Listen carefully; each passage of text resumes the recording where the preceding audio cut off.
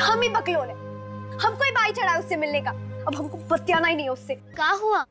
Phone busy आ रहा है। पता नहीं किससे बतिया रहे हो। रिजेक्शन से बुरा काफ़ी लगता था बट मैं एक सीख लेकर जाती थी कि मुझे क्यों रिजेक्ट किया। और रिजेक्शन मिलने के बाद लोग अपना स्ट्रीम ही बदल देते हैं कि यार इसमें तो मेरा कुछ नहीं होगा। जॉइन फिल्म्स में और भी बहुत सारे वीडियो अवेलेबल हैं जिनसे कि आपको प्रॉपर प्रोफेशनल गाइडेंस मिलेगी। भले ही आप एक्टर बनना चाहते हो राइटर बनना चाहते हो फ़िल्म मेकर बनना चाहते हो सिंगर बनना चाहते हो आपको हर तरह के इस पर वीडियो मिलेंगे भले वो फेक ऑडिशन पे हो कि ऑडिशन कैसे देने चाहिए इस पर भी डिटेल वीडियो अवेलेबल है। ऑडिशन के लिए आपने कुछ स्पेशल प्रिपरेशन किया?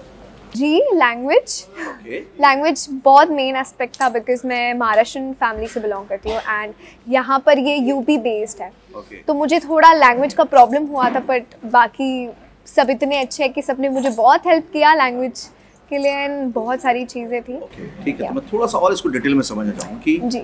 इस ऑडिशन में कितने सारे ऑडिशंस के आपके फ़िल्टर हुए मतलब कितना टाइम लगा आपको फाइनली लॉक करने में जब बोला गया हाँ अब ये रोल आप कर रहे हो काफ़ी महीने बीत गए थे। महीने बीत गए थे। जी नवंबर मैं नवंबर से इनका ऑडिशन स्टार्ट हुआ था। मैं आई थी दिसंबर में और हमारा काफ़ी लंबा पीरियड चला अराउंड फेब एंड तक कुछ तो हुआ था। और कितने बीच आपने लुक टेस्ट या ऑडिशन दिए? काफ़ी सारे अब तो गिनती भी याद नहीं थी। इस पर्टिकुलर रोल के लिए। इस पर्टिकुलर के लिए काफ़ी हुए थे मतलब पाँच छः तो हुए थे। मतलब ये हुआ कि मेन लीड के लिए कम से कम इतनी बार देखा जाता है। Yes. इतना आसान नहीं है बहुत ही में मेहनत। हो जाए। जी। तो जब लगातार प्रणाली रिजेक्शन पे रिजेक्शन हो रहे हैं जी। तो कभी लगा कि मेरा डिसीज़न गलत है एक्ट्रेस बनने का? नहीं बिल्कुल नहीं। अ, मुझे बचपन से ही एक्टर बनना था और मैंने सोचा था कि मैं एक बार पढ़ाई अपनी ख़त्म कर लूँगी तो मैं यही करूँगी और रिजेक्शन से बुरा काफ़ी लगता था बट मैं एक सीख लेकर जाती थी कि मुझे क्यों रिजेक्ट किया? तो मैं वो सोचती थी और उस पर इम्प्रूव करती थी ताकि नेक्स्ट ऑडिशन में मैं वही गलती रिपीट ना करूँ। रिपीट नहीं करो। मतलब गलती तो हो सकती है लेकिन गलती रिपीट ना हो ना ये हो। आपकी ज़िम्मेदारी होती जी। है। तो जब रिजेक्शन होते हैं ऐसा सोचना बड़ा आसान है। आज आप सक्सेसफुली काम कर रहे हो तब भी बड़ा आसान है कहना। लेकिन जब साइकोलॉजिकली एक एक्टर उस दौर से गुजरता है और जब घर वाले पूछ रहे होते हैं आसपास के लोग पूछ रहे होते हैं तो उस टाइम कैसे डील करते थे उन चीज़ों से? बहुत बुरा लगता था कि यार मैं रिजेक्ट हो गई, मैंने इतना प्रिपेयर किया था, इतने अच्छे से ऑडिशन भी दिया था बट कुछ कमी रह गई। पर फिर फैमिली और फ्रेंड्स इतने सपोर्टिव हैं, इतने अच्छे हैं कि उन्होंने मुझे कभी फील ही नहीं करने दिया, यार, तू बहुत बुरी है। उन्होंने हमेशा मुझे हर चीज़ के लिए इतना मोटिवेट किया कि तुम और अच्छा कर सकती हो, और अच्छा कर सकती हो नेक्स्ट में अच्छा करना टाइम्स तो इतना बुरा नहीं लगा कभी।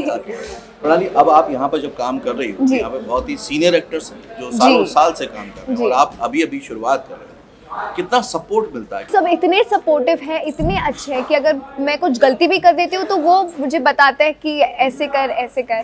तो बहुत सपोर्टिव है and I am lucky I feel मैं इतनी लकी हूँ कि मुझे इतना अच्छा टीम मिला है मेरे फ़र्स्ट प्रोजेक्ट में। Okay. और जो पब्लिक अब आपको पसंद कर रही है। तो उस पब्लिक को क्या मैं फैंस को यही कहना चाहती हूँ कि आप प्लीज़ प्लीज़ प्लीज़ मेरा शो रोज़ देखिए। आपको नए नए ट्विस्ट भी दिखेंगे और please keep loving I love you all अब जब आप काम कर रहे हो जी। आपने देखा होगा आपके साथ के बहुत सारे एक्टर और भी रहे होंगे चाहे मेल हो या फीमेल वो जब रुक जाते हैं बीच में जैसे रिजेक्शन से आप आगे बढ़े आपने सोचा नहीं यार मुझे में क्या कमी थी? मैं उसको दूर करूँ और आगे बढ़ूँ। लेकिन कई बार लोग वहीं से वापस हो जाते हैं रुक जाते हैं। ऐसा देखा आपने कभी?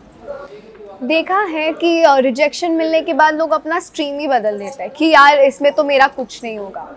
मैंने देखे ऐसे काफ़ी मतलब एक दो लोग थे, दोस्त भी थे मेरे, और मैंने उनको हमेशा यही कहा है कि अगर तुमको वो चीज़ करनी है तो वो मन में ठान लो रिजेक्शंस मिलेंगे, पर अच्छा वक्त भी आएगा। अगर आप में टैलेंट है तो प्लीज़ उस पर टिके रहिए, काम हो जाएगा। इट मीन्स ये क्लियर हुआ प्रणाली की रिजेक्शन जो मिलता है, या तो आपके लुक की वजह से हो सकता है, या हो सकता है आपके अंदर कोई कमी हो, जिसको आप सुधार के आगे बढ़ सकते हैं। इसका मतलब ये परमानेंट फेलियर या रिजेक्शन नहीं है।